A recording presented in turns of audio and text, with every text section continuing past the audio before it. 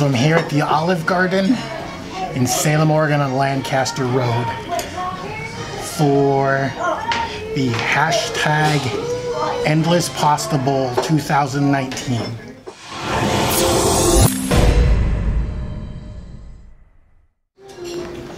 And my timer is started. Hey, I want to say welcome to today's video and thanks for stopping by. Now, if you don't know what I'm doing here, the concept of what I'm doing here is I'm trying to put together a collaborative effort for myself and other YouTube channels. Doesn't matter what type of channel, doesn't matter if it's an unboxer, a reviewer, an eater, a vlogger, a builder, doesn't matter. Myself and other YouTube channels, smaller channels, hopefully, because we need all the help we can get, but other YouTube channels to help each other grow.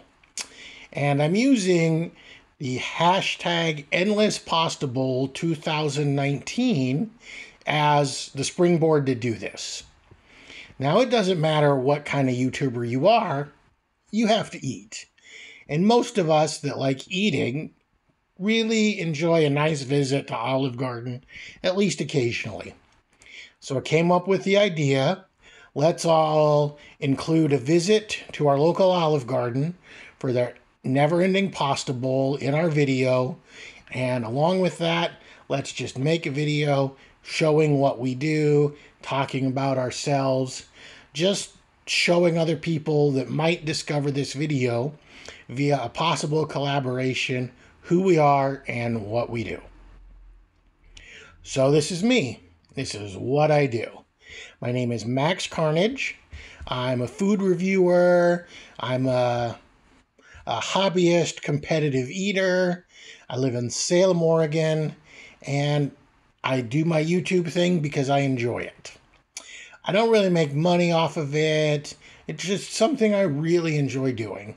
I love going to all sorts of weird, out of the way restaurants, going to places that I'd never go, going to small local businesses and enjoying their food.